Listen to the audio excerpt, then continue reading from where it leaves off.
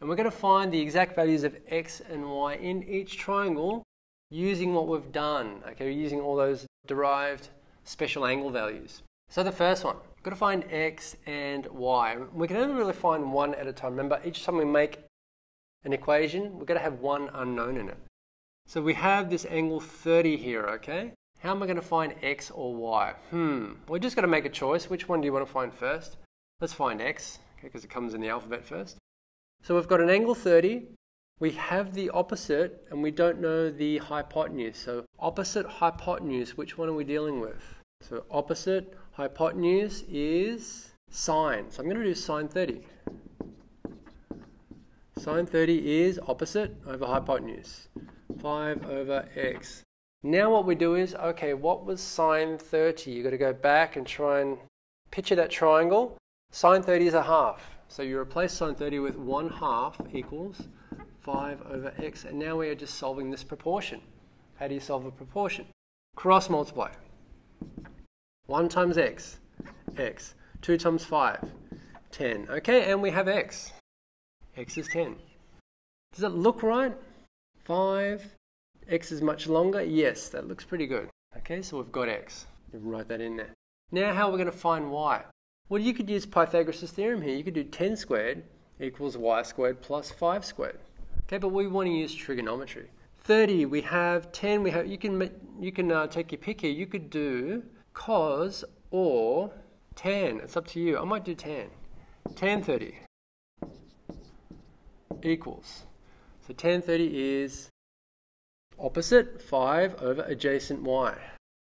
5 over y. Then you've got to go, okay, what's tan 30? Hmm, channel it in. Tan 30 is root 3 over 3. Okay, I actually did memorize that. They're not written over there. Did know that. And we cross multiply again. y times root 3. y root 3. I always say y root 3 instead of root 3y because you don't want to get confused with um, the y being inside the square root. Okay, usually put the y first. 3 times 5 is 15. So y equals 15 over root 3. And we've broken our golden rule again. We've got a radical on the bottom. Naughty, naughty. Let's multiply bottom and top by root 3, which will give us 15 root 3 over 3. And that will cancel. Uh, 3 goes into 3 once, 3 goes into 5, 5 times. I might write the answer over here. I don't want to I'm going to use this space over here. y equals 5 root 3. Okay, and that is y is 5 root 3. Okay, so that's the first one done.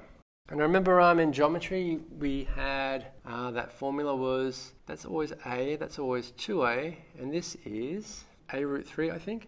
What's a here? Obviously a is 5. So if a is 5, what's 2 times 5? 10, that agrees.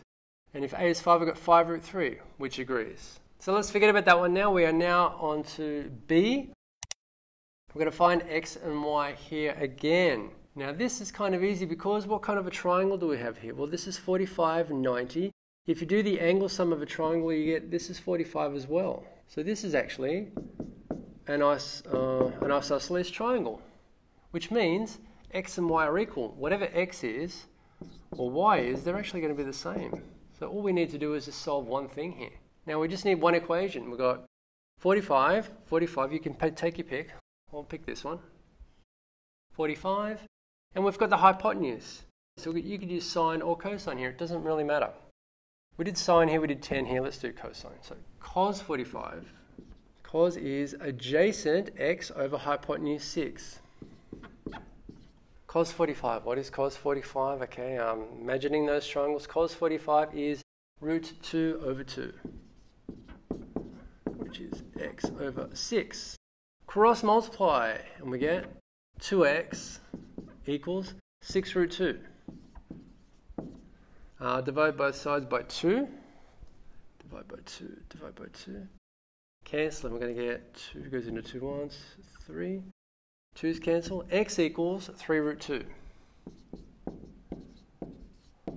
And because x and y are the same, these are both going to be 3 root 2. So our answer is x and y are both 3 root 2. And does this all agree with what we did in geometry? Uh, geometry said that if this is b and this is b, then this is b root 2. So b is 3 root 2. b is 3 root 2. So b is 3 root 2 times root 2, which is 3 times root 2 times root 2 is 2, which is 6. Yes, it works out. All right, so you've got to memorize sine, cosine, and tangent of 30, sine, cosine, and tangent of 45, sine, cosine, and tangent of 60. Okay,